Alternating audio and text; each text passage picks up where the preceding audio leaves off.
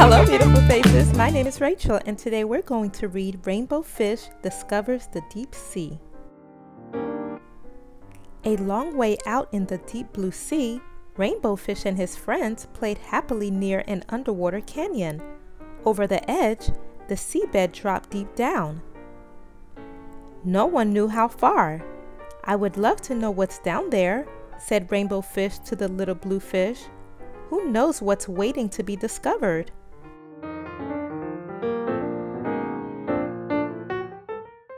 If I were you, I'd stay up here, said the octopus. I've heard that it's cold down there and dark and full of strange creatures nothing like us. So Rainbow Fish had to be content to swim along the edge and stare down into the depths, wondering what was there.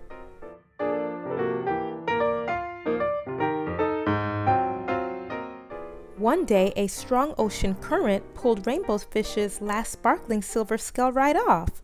The scale drifted over the edge of the canyon wall and sank down and down and down into the darkness. Rainbow Fish wanted to chase after it, but the little blue fish pulled him back. No, Rainbow Fish, he cried. Please don't go after it. There are strange creatures down there. I'd like to meet them, said Rainbow Fish.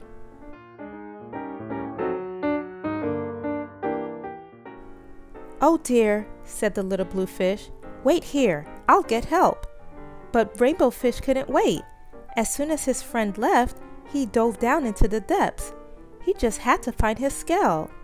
Soon it was so dark that Rainbow Fish could see nothing except a tiny sparkling speck getting smaller and smaller and smaller below him. Rainbow Fish started to feel frightened.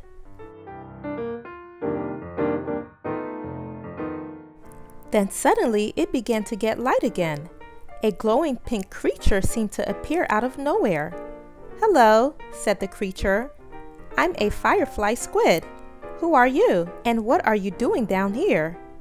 Rainbow Fish swam closer. I'm Rainbow Fish, he said. I lost my sparkling silver scale, and I came down here to find it. You haven't seen it by any chance, have you? I'm afraid not, said the squid but I can help you look.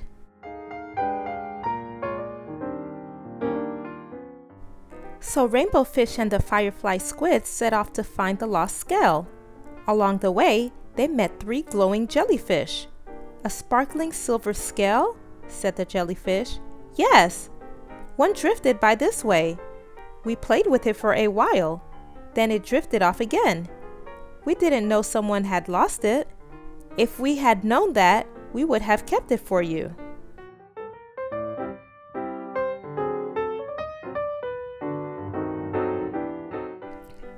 Rainbow fish and the firefly squids swam deeper down. Suddenly, their way was blocked by a wavy curtain of bluish-green tendrils. Watch out! called the squid. Those are the poisonous tendrils of a siphonophore. Rainbow fish shivered. There was danger in the deep sea.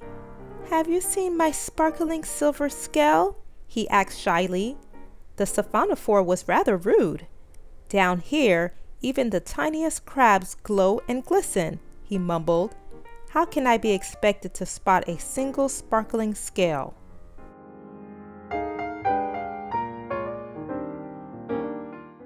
Don't feel bad, said the firefly squid.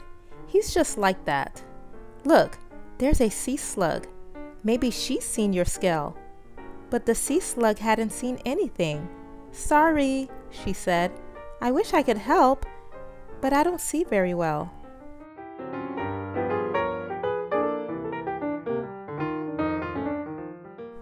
Rainbow fish and the firefly squid swam down farther until they reached the seabed.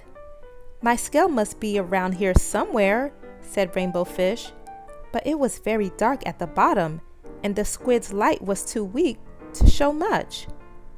There's a Dumbo octopus, said the firefly squid. Come on, I'm sure he'll help us.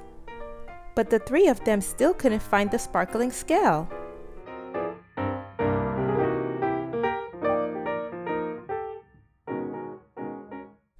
I know what to do, cried the Dumbo octopus. I'll just give you a new sparkling costume, Rainbow Fish. And she covered him in a shower of glitter so that Rainbow Fish glistened like never before. Thank you, said Rainbow Fish. It's beautiful, truly. But I really want my own scale back again.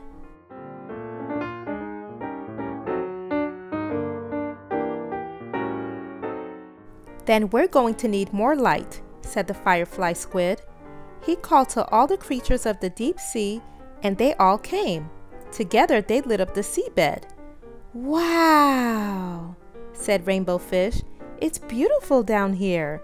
Then everyone looked and looked and looked. They were just about to give up when the light from a lanternfish showed something glittering in the water. My scale! cried Rainbow Fish and everyone cheered. Oh, thank you, Rainbow Fish told his new friends. I would never have found it without you.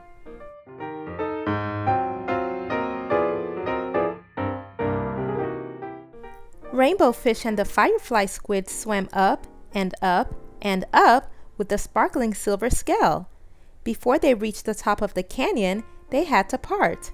Come visit us again, said the squid. I will, promised Rainbow Fish. The little blue fish and all his other friends were waiting to welcome Rainbow Fish home. Everyone wanted to know what it was like down in the depths. Was it scary? They asked. Were the creatures awful? No, said Rainbow Fish. They were beautiful. They looked different, but they turned out to be wonderful friends, just like you.